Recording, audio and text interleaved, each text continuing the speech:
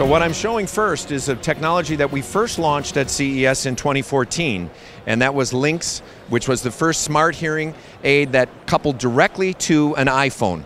And what it enabled for, it's still a professionally fitted device, but it enabled the end user, the hearing aid user, to adjust the hearing aid, things like volume, change programs if they've been programmed for different listening environments. Some cool features on this that are kind of interesting is it enabled back then to use a Find My Hearing Aid feature. If they left the hearing aid off, hopefully they're wearing them, but if they left them behind somewhere, it'll show right on the map where we are here in Las Vegas, and uh, it'll show right where the device is so that you could use it to help uh, uh, find it. We've had some tremendous stories come in from the field of people that left their hearing aid and no longer had to lose it completely. So that's technology that we introduced four years ago. The technology that we have today enables me to initiate a telehealth request even after the, the, the, device has been fitted in the clinic, I may still encounter some challenging listening environments, like this one here at CES. We got a very noisy neighbor over here.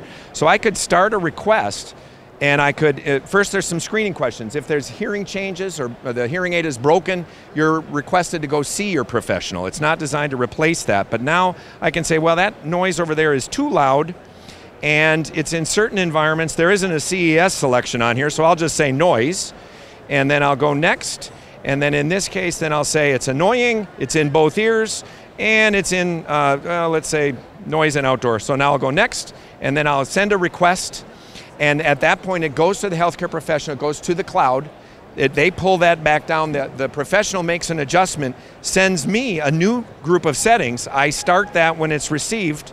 Oops, excuse me. And now my request that came back shows here I'm going to install it. I can continue there. All I need is the hearing aid and the phone. I don't need the professional present here. I accept and install, and now you'll see the new settings are uploaded. I can accept those and keep them, or I can reject them. Like I said, uh, this is a, a, device that we think challenges conventional wisdom about what hearing aids look like and the size. Uh, very sporty in terms of this one's are these are red. Uh, I've got some that match my hair color on my ear here. Uh, very unobtrusive. Uh, we're not trying to disguise hearing aids. We're trying to say, and some people you'd be surprised, want red hearing aids because they're proud to play to, to proclaim that they have hearing loss and are doing something about it. And even now knowing you're wearing one is very hard to tell. It is indeed.